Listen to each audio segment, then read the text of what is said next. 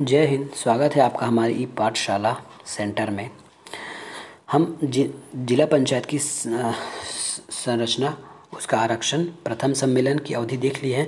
आज हमको पढ़ना है अध्यक्ष उपाध्यक्ष का अविश्वास प्रस्ताव। ये वीडियो हम जस्ट बहुत शॉर्ट में ख़त्म करने वाले हैं, क्योंकि इससे पहले हमने सेम सेम चीज़ें देख चुके हैं। तो आज हम देखते हैं अध्यक्ष उपाध्यक्ष का अविश्वास प्रस्ताव। तो किन के द्वारा लाया जाता है? तो अविश्वास प्रस्ताव आपका लाया जाता है एक बटे तीन हस्ताक्षरित आवेदन पर।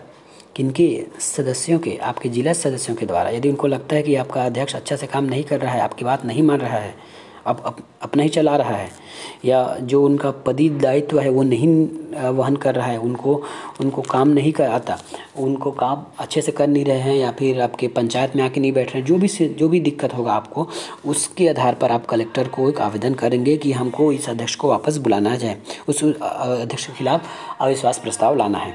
अब अविश्वास प्रस्ताव लाने का मतलब होता है, यदि वो पास हो गया तो आप उस दिन से उस पद के लिए लायक नहीं रहोगे। आप उस पद को छोड़ दोगे।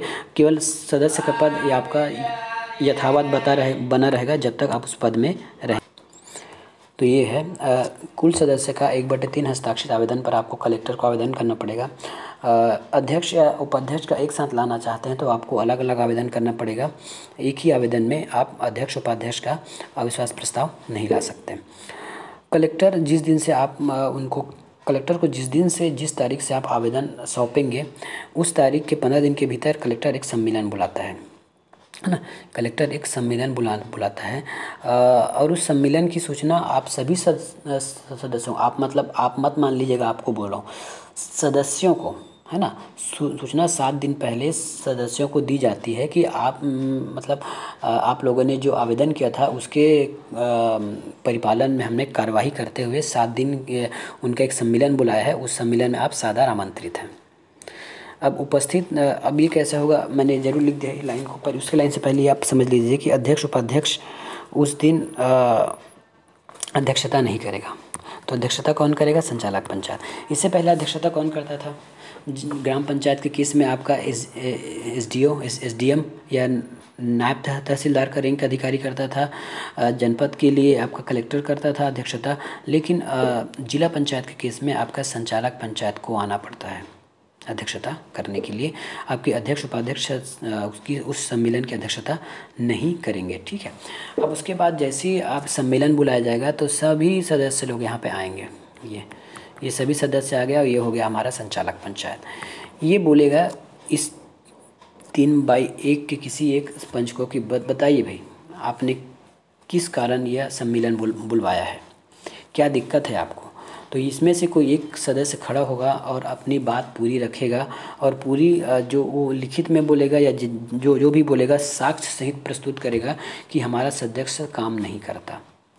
ये सब बात जो भी है, उस उस बातों की पूरी चर्चा होगी सभी के साथ। उसके बाद उसके बाद एक फ्लोर टेस्ट होगा, एक एक वो होगा, मतदान होगा कि कौन इस सदस्य के विपक्ष में है और कौन इस सदस्य बोलो अध्यक्ष, इस अध्यक्ष उपाध्यक्ष के विरुद्ध है और कौन नहीं है तो एक लिखित में चुनाव या वोट डाला जाएगा। वो उसकी जो बहुमत होती है ना, वो उपस्थित तथा मतदान करने वाले की तीन बटे चार होनी चाहिए। और ये तीन बटे चार सदस्य गठित करने वाले जिला पंचायत को गठित करने वाले सदस्यों के दो बटे तीन से अधिक होना चाहिए, तभी आपका अविश्वास प्रस्ताव पास होगा। इसमें सामान्य बहुमत नहीं रखा गया है। इसमें कुछ अधिक कड़े नियम रखे गए हैं। ठीक है?